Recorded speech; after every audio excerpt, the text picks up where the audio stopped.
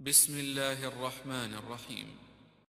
شهر رمضان الذي أنزل فيه القرآن هدى للناس وبينات من الهدى والفرقان.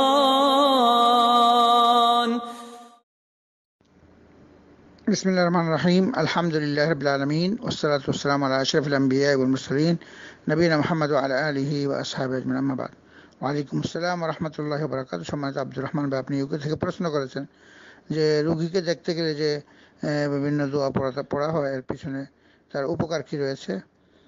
তো সর্বপ্রথম এই প্রশ্নটা আপনি করেছেন, সেটা রুগীর দেখাটা অনেক সব হাদিসে এবং কোরআনে এটা বর্ণনা করেছে, অনেক সবের কাজ। এবং রুগীকে দেখতে গেলে যে অনেক ধরনের দোয়া রয়েছে, সেটা সবচেয়ে উত্তম যে পন্থা সেটা হচ্ছে দুইটা দোয়ার কথা আমরা উল্লেখ করি। একটা হচ্ছে, লা বাসা তাহুরুন ইনশা আল্লাহ সেখানে বলা হয় যে চিন্তার কোনো কারণে ইনশাআল্লাহ আল্লাহ তালা পবিত্রতা আল্লাহ তালা তোমাকে পবিত্র মানে পবিত্র করুক সুস্থ দান করুক, এটা দোয়া করা রোগীর জন্য। তো রোগীর জন্য দোয়া করলে সেই দোয়া ফেরিস্তারা আমিন বলে এবং যে ব্যক্তি বলতেছে তার জন্য রোগ, বিভিন্ন রোগ থেকে হেফাজত থাকার একটা উপায় এবং ফেরিস্তারা সেখানে আমিন বলে। এটা হচ্ছে এক নম্বর। দুই নম্বর হচ্ছে যে মেন হ্যাক রুগীর কাছে যাওয়া এবং রুগী সে সান্ত্বনা দেওয়া থাকে এবং তার জন্য দোয়া করা এবং রুগীর কাছে দোয়া চাওয়া, কারণ রুগী ব্যক্তির দোয়া কবুল হয়।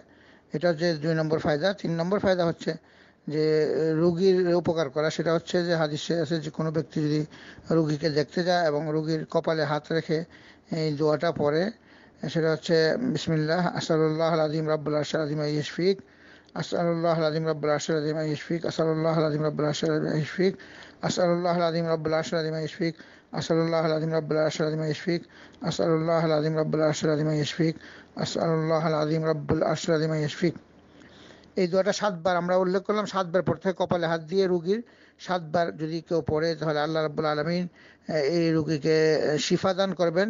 যদি তার মৃত্যু না থাকে, তাহলে মৃত্যু না থাকে তাকে আল্লাহ তালা অবশ্যই শিফা দান করবেন এখলাসের সাথে। তো এটা অর্থ হচ্ছে কপালে রেখে দোয়া আসল্লাহ আদি মানে মহান রব্বুল আলমিনের নিকট আমি প্রার্থনা করতেছি, রব্বুল আরশুল আজিম যিনি মহান আরশের মালিক আই ইশফিক আপনাকে আল্লাহ আরোগ- আরোগ্যতা দান করুক। এই কথাটা এই দোয়ার মাধ্যমে সাতবার পড়তে হয় এবং এর মাধ্যমে এখলার সাথে যদি পড়া হয়, তাহলে আল্লাহ তালা এই দোয়ার মাধ্যমে এই রোগীকে পরিপূর্ণ সুস্থতা দান করবেন এবং এই এই রুগীর দোয়া সেও পাবে।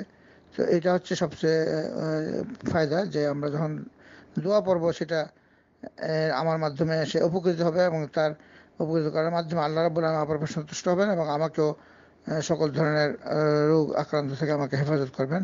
আল্লাহ রাবুল আলমিন সমস্ত মুসলমান মোমেনদেরকে সকল ধরনের রোগ আক্রান্ত হওয়া থেকে আল্লাহ তালা হেফাজত করুক। এবং যারা রোগী, তাদেরকে আল্লাহ তালা শীঘ্রই শিফা দান করুক। ওসল্লাহ আল্লাহ নবী মোহাম্মদ ওয়ালা আলী ওয়াসাব আপনার দ্বিতীয় প্রশ্ন ছিল যে আপনি প্রশ্ন করেন যে একজন খুব দীর্ঘ লম্বা ব্যক্তি, সে যখন নাকি রুকু দিচ্ছে, তখন সে হাঁটুর নিচে ধরে রুকু করতেছে। তো হাঁটুর টাকনোর মধ্যে ধরে হাঁটুতে, হাঁটুর মধ্যে ধরে রুকু করা এটা নিয়ম, কিন্তু হাঁটুর নিচে মাঝামাঝি জায়গায় ধরে রুকু করাটা এটা নিয়ম না, এটা সুন্নতের পরিপন্থী কাজ।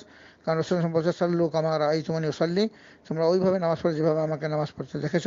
তো রসুল্লাহ সাল্লাম হাঁটুর মধ্যে হাত ছড়ায় শক্ত করে ধরে সোজা রুকু দিতেন এবং তার পিঠ, মাথা সমান থাকতো সোজা হয়ে এইভাবে এবং সেখানে তিনি সুবাহান রাব্বিয়াল আজিম বলতেন। সেখানে একবার বলাটা ওয়াজিব, আর বাকি বেশি তিনবার বা সাত বার নয় বার এভাবে যত বেশি বলা যায় সেটা সুন্নত তো এখানে হাঁটুতে ধরে আহ, দেওয়াটা এটা সুন্নতের পরিপন্থী কাজ। তো এটা জেনে নিতে হবে এটা এইভাবে সুন্নতের খেলাফ হবে। তো রসুল্লাহ আসলামের আদর্শ মানাটাই আমাদের উপরে কর্তব্য। আল্লাহ রাব্বুল আমাদেরকে সেই আদেশই করেছেন এবং রসুল আসলাম আদেশ যারা অমান্য করবে তাদের প্রতি আল্লাহ রাবুল আলমের কঠোর আহ, সাবধান বাণী শুনিয়েছেন অথবা তাকে দুনিয়াতে আল্লাহ আলম কষ্ট দেবেন এবং পরকালে শাস্তি দিবেন। তো কাজেই নামাজটাও কবুল হওয়ার ব্যাপারে সন্দেহ সংশয় থাকে- যাবে। তো সেক্ষেত্রে হয়তো এই লোকটা জানতে হবে যে এই লোকটা হয়তো তার কোনো অসুবিধা আছে সে হয়তো দীর্ঘ লম্বা থাকার কারণে হয়তো তার হাঁটুর মধ্যে সে পাও রাখতে পারে না। এই জন্য নিচে রাখছে। সেই জন্য আমাদের একটা জিনিস জানা দরকার। কেউ যদি আমরা কোনো ভুল ত্রুটি, বাহ্যিক দিকে দেখি, তো সেটা তাকে প্রশ্ন করে জেনে নেওয়া এবং সেখানে সুন্দরভাবে নসিহত করা। দিন নসিহা, দিনটা হচ্ছে উপদেশের উপর প্রতিষ্ঠিত। কাজেই এই দিনের মধ্যে প্রত্যেকটা লোকের দায়িত্ব আছে যে যতটুকু আমরা জানি শুদ্ধ জিনিস, সঠিক জিনিস, সেটা যদি আমরা দেখি, তাহলে অন্য ভাইকে ভালোবাসার মাধ্যমে, মহব্বতের মাধ্যমে, উপদেশের মাধ্যমে তাকে আমরা আল্লাহ রসুল আদর্শের প্রতি উদ্বুদ্ধ করব এটি আমাদের কর্তব্য। কিন্তু দূর থেকে মানে আমরা জিনিসটা জেনে নিতে হবে, সে হয়তো এটা পারতেছে না বা তার কোনো ওজোর রয়েছে, কি কারণে সে করতেছে। তো আল্লাহ তালা আমাদের সবাইকে জীবনের সর্বক্ষেত্রে রসুল আদর্শ মেনে চলা এবং আদর্শের প্রতি অন্যকে আহ্বান করা, এই তৌফিক দান করুক। ওসল্লাহ নবী মোহাম্মদ আলহি ওয়াসাহাবিন